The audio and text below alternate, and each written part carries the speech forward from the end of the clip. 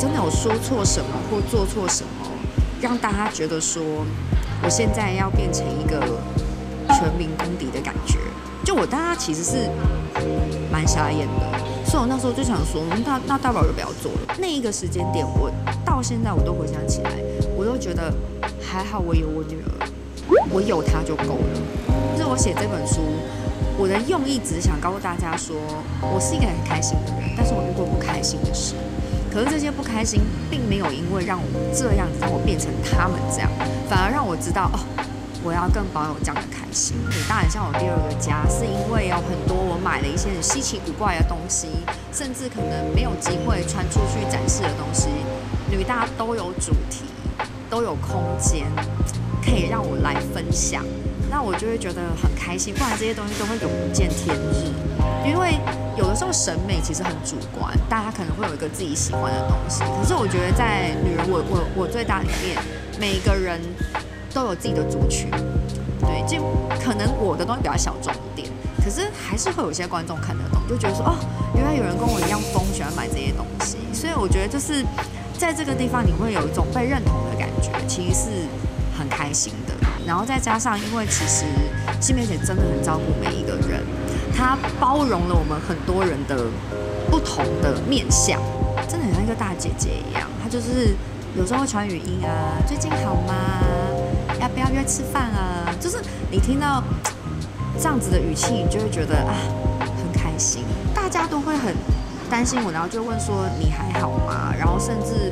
大家就会觉得好像我遇到了一个人生可能最大的坎，就会让我觉得说，哎，我真的有说错什么或做错什么，让大家觉得说我现在要变成一个全民公敌的感觉。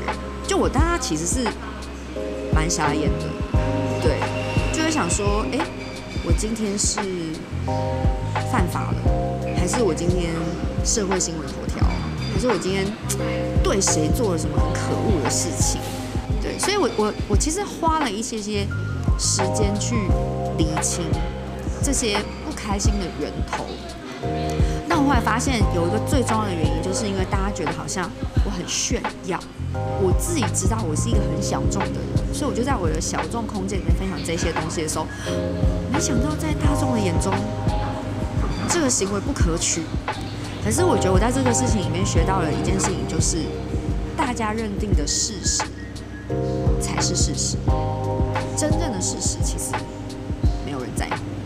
所以我那时候就想说，那那大宝就不要做了。后来很多人就跟我讲说，你不要很着急的做什么决定，你不要很有情绪的，就是去想这些东西，你应该要先静下心来，先把你自己照顾好。那一个时间点，我到现在我都回想起来，我都觉得还好，我有我女儿，我有她就够了。就如果在那个当下，你让我再选一次，说陪妹妹还是怎么样去工作，我觉得我陪我女儿一点都没有吃亏。真的要经历过那样的过程，你就会去更珍惜什么东西才是最重要的。工作归工作。演艺事业归演艺事业，所有的一切都可以像浮云一样。